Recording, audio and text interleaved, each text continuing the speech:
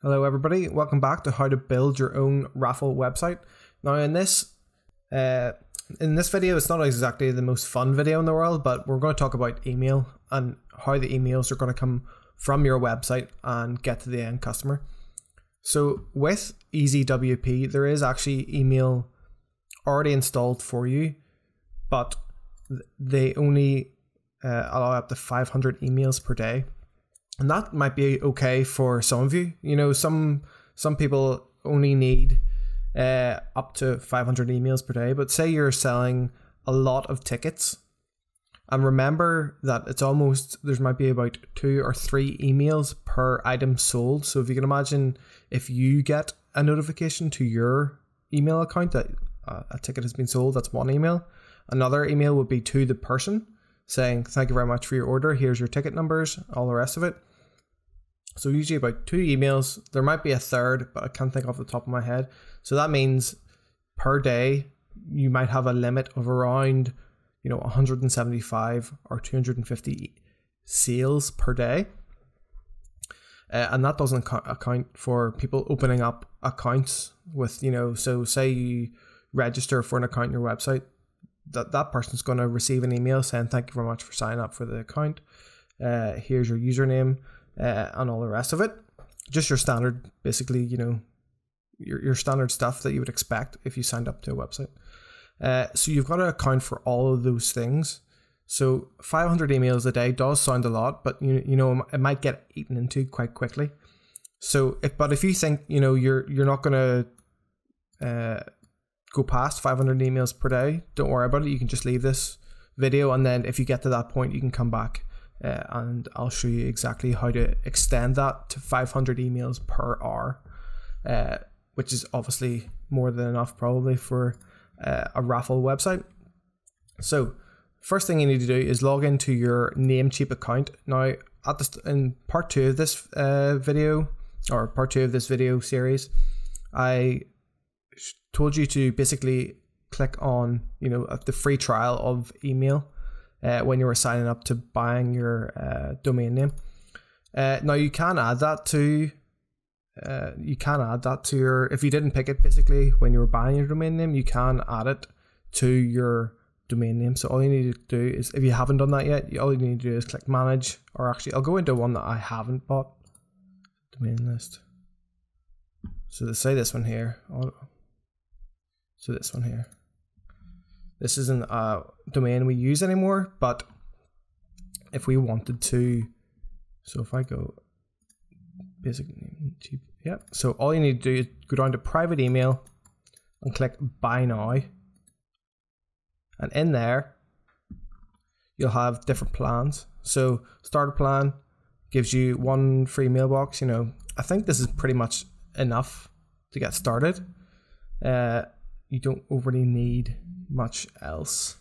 So if you can you can get started with the starter plan, but you know if you need to if you need to upgrade to pro for whatever reason, you know, three inboxes say you have you know different people involved in your in your business, but you can obviously whatever applies to you, you just go for that. But for me, I just click the starter plan, uh, signed up, standard stuff, sign up, and get your account details and just sign in. Now to sign in to your email account, you can just go, if I go back to my account here, if I go to my email account, once you've signed up, you will see this. So, you know, validity is up to August 11th, 2020 for me. I got one out of one email or yeah, mailboxes in use because obviously I clicked the starter plan. So if I go up to the very top where it says products, starter email, there we go. I can just go down the right hand side and go log into webmail. Now that'll pop up at privateemail.com here. So this is obviously a subsidiary to uh, Namecheap, and you can basically just sign in when at luxprizes.co.uk, log in there, and it's just your standard. It's almost like Gmail, that kind of thing. Anyway, once you've signed up and you got your email, your login and email password, just go back to the website. So your EasyWP. So we're actually going to uh, log in a different way. So I'm going to go to luxprizes.wp-admin.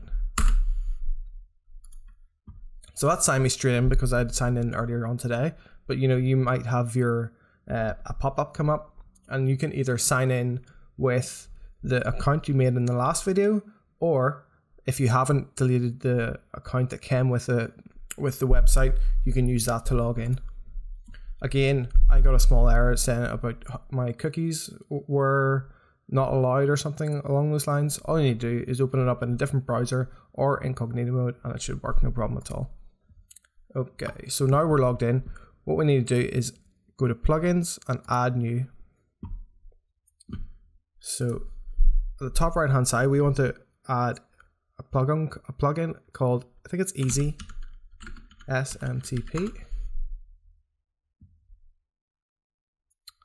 Okay, so I think it's this one here. That's WP Mail SMTP by WP Forms. So if we install that and then activate. Okay, that's now activated. Now you'll be you'll be able to see on the left hand side. You'll see WP Mail SMTP. If you click on Settings. Okay, let's get started. So all we need to do here is add in your email address that you just uh, created. So mine was win at uh, lux-prizes.co.uk. Okay, you want to force to that email address? Yep. So I'm going to say lux as my forced email name. So you, you can imagine on the left hand side when you get an email it says who it's from and then obviously from email address.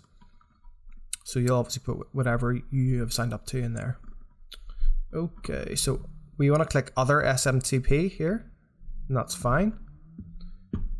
We then want to go to the very top. So actually go to Google. I'll, I'll put the link in the description here, but uh, I searched for private email SMTP settings.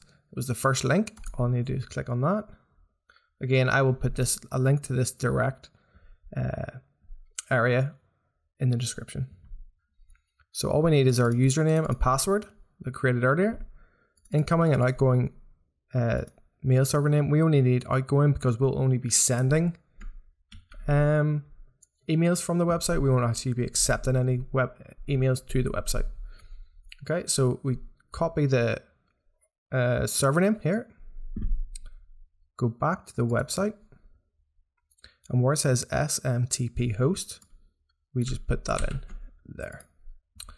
All good. So now it's asking for encryption. I just use it as SSL, SMTP port. So we go back to our page here. So the outgoing port here, so outgoing server is 465 for SSL. So that's what we're going to use. We're going to use 465. I think mine's already set to that. So 465, all good. So auto TLS, not going to lie to you, not entirely sure what that means, but leave it on. uh, so next, we're going to sign in using our username and password. So all you're going to do now is add your email. So my email was Lux Prizes, and then below here is where you would put your uh, SMTP password in, just in here. I have completely forgotten mine, so I will be right back once I've set it. Okay, I've saved my email settings there, so I want to go and test this email. So it's very important to test your email account. So, or basically test that the integration is uh, is happy and it's working. So Ryan at getfound. Okay, HTML, that's fine. I want to send that email. Test HTML was successfully sent. Please check your inbox to make sure it's been delivered. Okay, let's go to my inbox. I'm doing this off screen here. Hopefully I bring this up for you.